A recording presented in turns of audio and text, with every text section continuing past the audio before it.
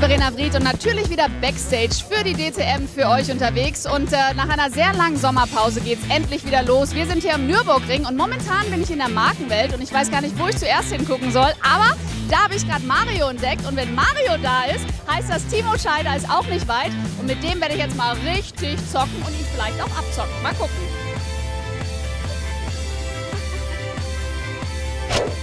Gas. Gas. Gas ich bin der kleine Grüne da, oder was? Grün. So bin ich der Grüne.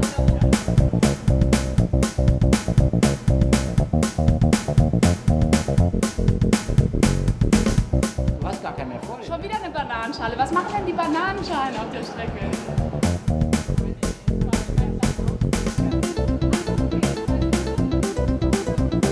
Aber schau jetzt, dass du das Steuerkreuz und jetzt was mal bei dir Oh, du bist leider fertig, Fertig. weil du Zeit überschritten hast. Oh. Herzlichen Glückwunsch, es war ein sehr faires Rennen und ein sehr gutes Rennen. Vielen Dank für die Herausforderung. Ich fand es nicht so schlecht.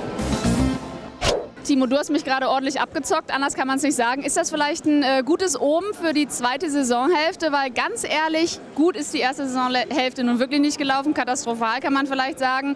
Ähm, wie läuft die nächste, äh, das nächste, dieses Rennen und vor allen Dingen, was hast du dir vorgenommen für die zweite Hälfte? Ja, es ist äh, momentan natürlich so, dass wir nach äh, besseren Ergebnissen lechzen. Hm, Die Sommerpause war wichtig und hat uns auch ein bisschen was geholfen.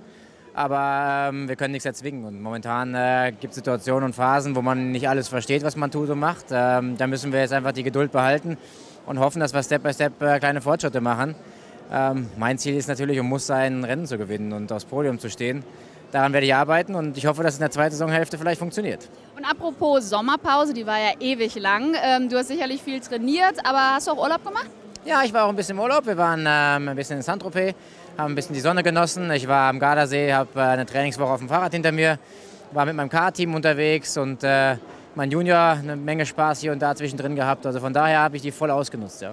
Okay, und das Rennen steht natürlich bevor. Ähm, und äh, was hast du dir vorgenommen? Das ist ja quasi ein Heimrennen für dich. Was hast du dir vorgenommen? Ja, es wäre schön. äh, Ich meine, wir haben in dem letzten Rennen, in der letzten Startreihe im Qualifying gestanden. Das war natürlich ein Desaster. Ähm, da gehöre ich definitiv nicht hin. Ähm, wenn man äh, Champion war, muss man Rennen gewinnen und will man das auch. Ähm, schön wäre es, äh, einfach einen Schritt nach vorne zu machen, im Qualifying bessere Performance zu finden, beziehungsweise auch selber mehr zu verstehen, warum, wieso, weshalb das eine oder andere nicht funktioniert hat. Äh, das wäre schon ein Fortschritt. Aber Ziele müssen natürlich sein, äh, nach ganz vorne zu fahren. Ja. Absolut. Wir drücken die Daumen. Gib du gerne noch mal ein paar Autogramme. Und wenn Sie wissen wollen, wie äh, Timo hier dieses Wochenende abschneidet, dann gehen Sie auf DTM TV und wir sehen uns schon nächstes Wochenende wieder, nämlich in Sandford. Also bis dann. Machen Sie es gut. Tschüss.